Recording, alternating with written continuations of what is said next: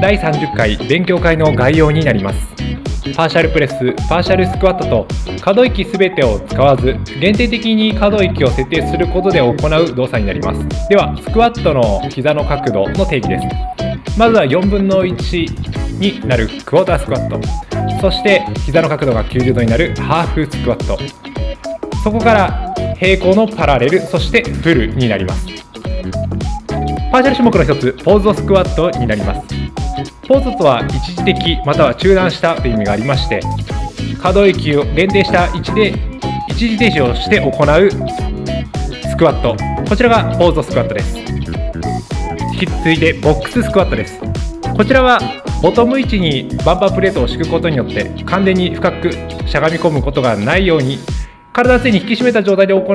スクワットになります。ではハーフラックを用いたトップポジションからのパーシャル種目。こちらではスポッティアームに一時的にバーベルの重さが乗るため、えー、可動域を限定したトレーニングエキセントリックからコンセントリックの動作による効果は残る特徴があります。では次はボトムポジションからのパーシャルスクワットです。押し上げの位置はスポッティアームに完全にバーベルが乗った位置からまっすぐ押し上げます。垂直に下ろした後体を改めて引き締めそして上に居上こちらがハーフラックを用いたボトムポジションからのパーシャル種目です。